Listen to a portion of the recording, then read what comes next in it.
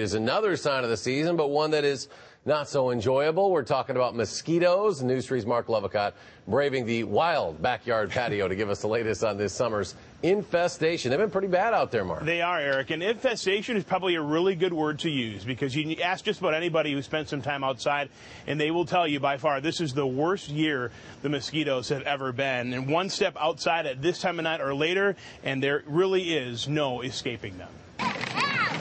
On this beautiful day for a ride or run through Picnic Point, there's one thing that could ruin it. Mosquitoes.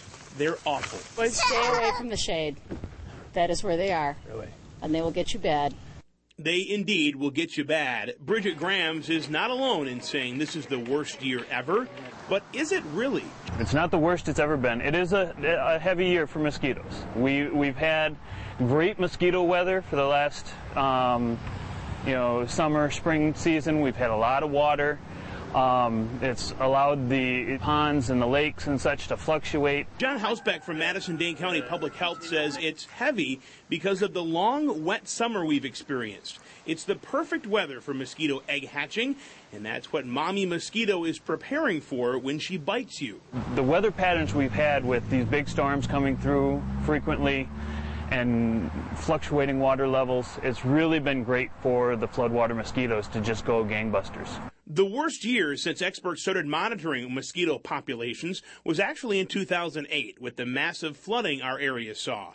This year is a close second, and it feels worse because the pesky bugs have been around for a much longer period of time. It's with anything. You know, when the pressure is on somebody for a long period of time, they're going to get worn down much more quick, you know, much more readily than they are if it happens once and then it goes away.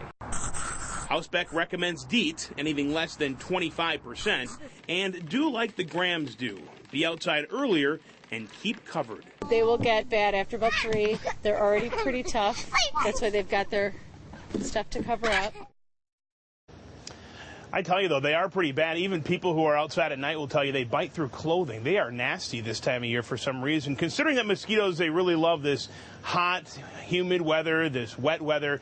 It's no doubt that they're going to be around for a while, so the, along with the weather stays the same way. And aside from repellent and just staying inside, the only other real relief that we'll see is when we see our first frost. And I don't know if anybody is really hoping that happens. We're never looking soon. forward to that. But hey, a little breeze today maybe keep them on. Uh, and that bay. certainly helps as well. The, the, the stagnant air, the air that's not moving, is what keeps these guys around. So. All right, good job of letting them land on you in that video yeah. and that piece too. Appreciate well, it. Yeah. All right, Marc Lovicott the backyard patio. Marc, thanks.